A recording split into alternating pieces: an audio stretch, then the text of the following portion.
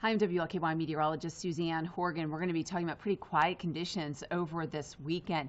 Plenty of sunshine out there and temperatures soaring into the middle 80s for both today and tomorrow.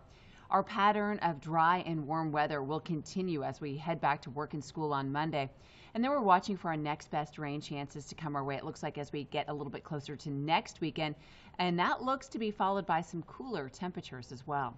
For today, though, looking beautiful, abundant sunshine, quiet conditions for any of your activities that you have going on. For today, as we head into your afternoon hours, again, mostly sunny skies.